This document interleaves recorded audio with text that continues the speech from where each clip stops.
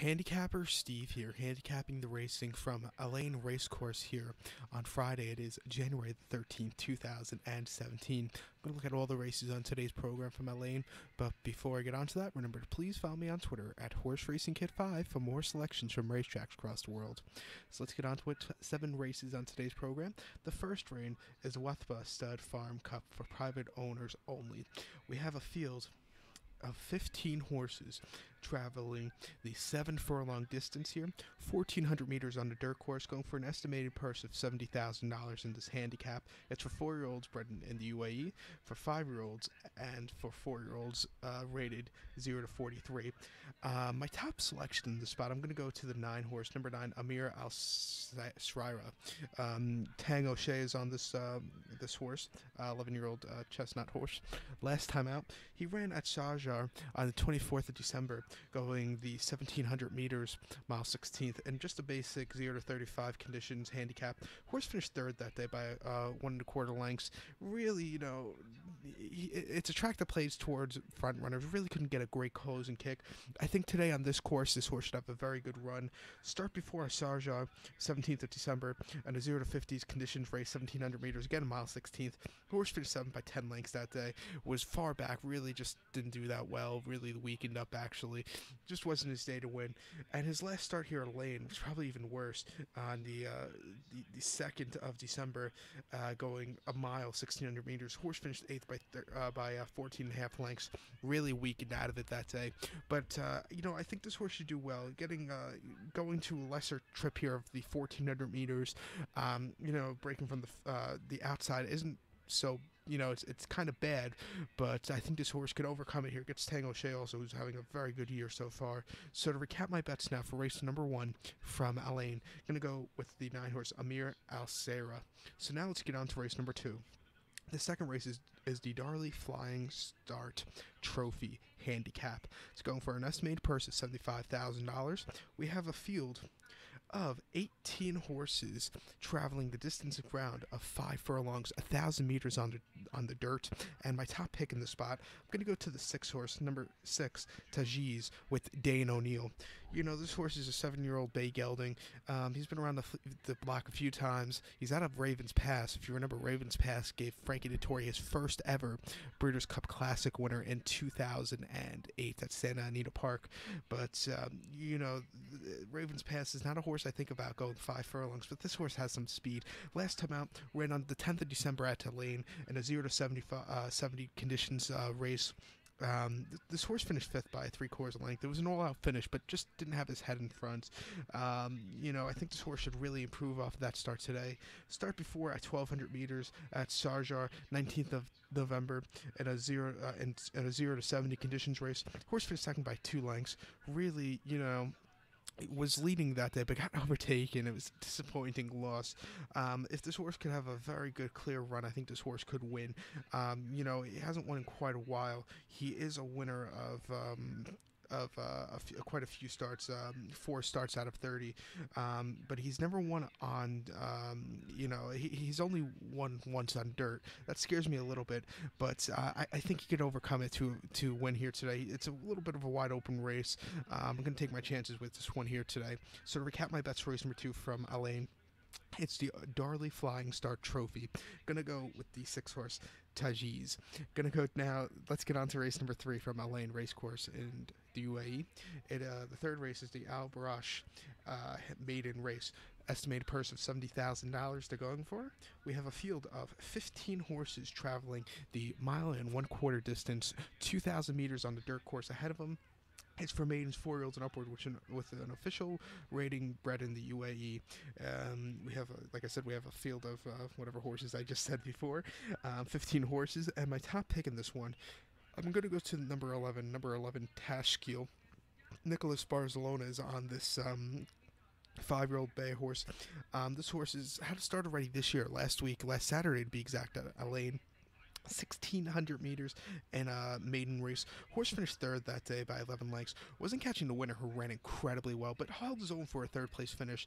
I think this horse will love the mile and a quarter distance here today. He's been really looking for it. Start before Sharjah on uh, the four, uh, 24th of December and a main race, 2,000 meters, same conditions, uh, same race as today, same distance. Horse finished 10th that day by uh, by just far, far back. Um, you know, he, he just really weakened out of it. It was it's a racetrack that's placed more towards uh, speed, and he he didn't have a lot of speed that day. Um, his better races have come locally here at Al Ain, um, and then start before 10th of December at Al Ain at a main race, 1600 meters. Horse finished third by 15 lengths. Wasn't catching the winner, but this horse was best, definitely third best. I think this horse should have a good run here today, wanting with getting the added distance. Watch out for this one to run a big one. So to recap my bets for race number three from Al Ain, gonna go with the 11 horse. So now let's get on to race number four from Al Ain. It's the Al Sarge. Uh, hopefully I say this right. The Al Sarge uh, handicap going for a purse of seventy-five thousand dollars. It's for four-year-olds, five-year-olds, uh, rated zero to forty-five. Also for four-year-olds rated zero to fifty-six. We have a field of 19 horses traveling the distance of ground of 2,000 meters on the dirt course, a mile and a quarter ahead of them. And my top pick in the spot, I'm going to go to the outside to the 11 horse, number 11, Crystal Des Violettes. Um, Fernando Shara Fernando Jara is on this um, uh, five-year-old uh, chestnut horse. Um, but this horse um, last start out came locally here at Al Ain. Dirt course maiden race, 2,000 meters. Horse finished third that day by 10 and three quarter lengths. Really didn't quicken up at the end. It, it, just wasn't this horse's day to win. It was his first start on dirt of the season, so I think he needed a dirt start. Second dirt start of the year. I think this horse should be really raring to go. Start before came on the 4th of December at Abu Dhabi on, in the 0 to 70 conditions race going a mile. This horse finished 11th that day by 18 and a quarter lengths. Was just far, far back. Really did not do anything. Um, and then start before at Abu Dhabi. Uh, you have to go to his last start last season um, in the UAE on the 6th of March. Uh, in a grade 3 2400 meters um, you know this horse finished 10th that day and was against better horses, really didn't show up. Coming back to dirt today, he, he should do well. Um, you know, his, uh, you know, he, he, should do well second off the layoff on dirt. So to recap my best race number four from Al Ain, gonna go with the with the 11 horse here, Crystal des Violettes. So now let's get on to race number five from Al Ain Race Course. The fifth race is the Al Jahali maiden race per $70,000. We have a field of 19 horses, but we do have a few uh, non-runners here. Uh, take out the eight horse, take out the 13 horse, and take out the 16 horse. So we have three withdrawals here. But um, my top pick in this spot is very wide open race. I, I, like the 15 horse, number 15, Asyad. Uh, Tang O'Shea is on this uh, four-year-old chestnut filly.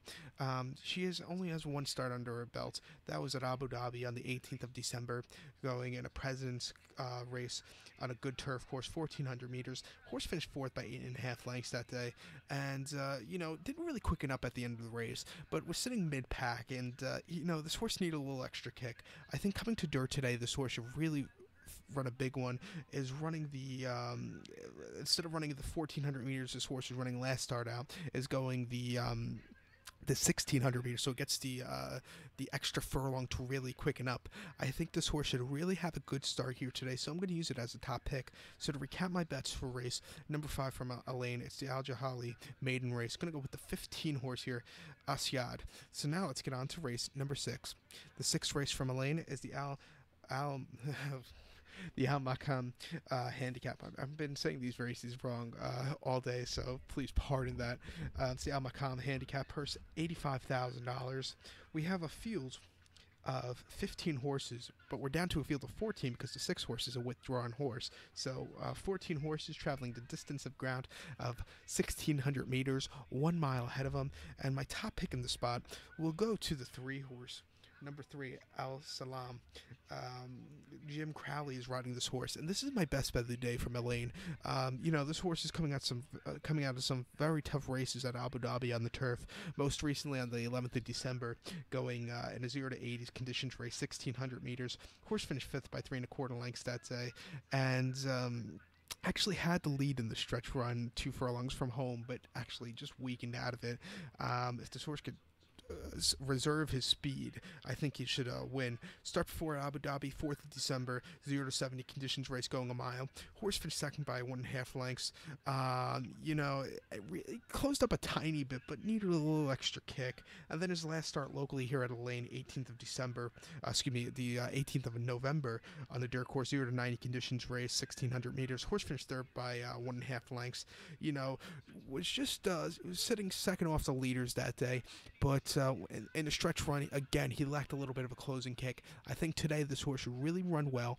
Like I said, he'll be my best bet of the day from Al Ain. So to recount my bets for race number six from Al Ain Race Course, going to go with the three horse El Salam. So now let's get on to race number seven, seventh race, the final race on today's program. It's the Al Ain Marathon Series Round Two, going for an estimated purse of hundred thousand dollars. It's for five-year-olds, uh, which are rated zero to ninety. Field of eleven horses, going the thirty-two hundred meters here.